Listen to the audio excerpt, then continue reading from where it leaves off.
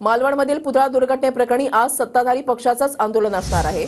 अजित पवार गट आज राज्यभर आंदोलन करणार आहे. महाराजांच्या पुतळ्याजवळ बसून मुका आंदोलन केले जाणार आहे. मालवणमध्ये पुन्हा शिवरायांचा पुतळा उभा करण्याची मागणी केली जाणार आहे आणि प्रदेशाध्यक्ष सुनील तटकरेंनी याबाबतचं पत्रक काढलंय.